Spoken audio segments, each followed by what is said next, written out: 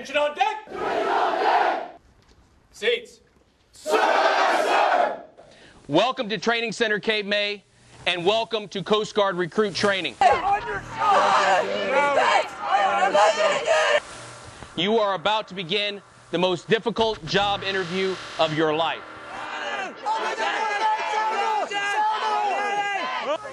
There are no guarantees here. If you do not meet or exceed every standard of our program, you will not graduate from Training Center Cape May, and you will not earn the privilege or the right to serve as a Coast Guardsman. Is that understood?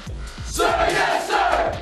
You truly are the best volunteers our nation has to offer.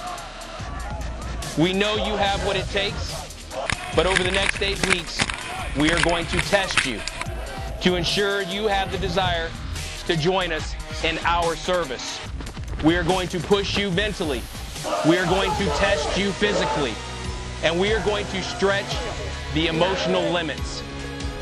You are going to face seemingly impossible tasks. We are going to test your desire to serve, and we are going to work to prepare you for the rigors of service in the United States Coast Guard.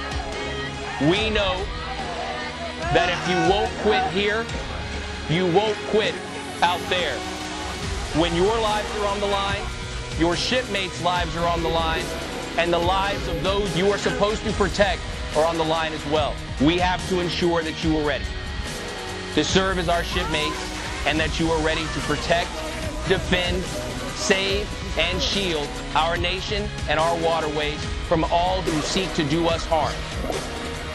I hope that you have prepared yourself for training with this in mind.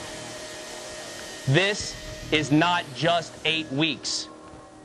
This is the challenge and potentially the opportunity of a lifetime. This is Training Center Cape May. Your future as a Coast Guardsman starts here. Are you ready?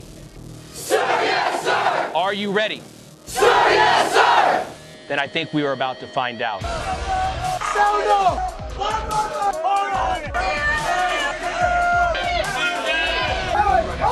Together. Make it light. Make it light. Light it. Light it. Light it. One, two, three.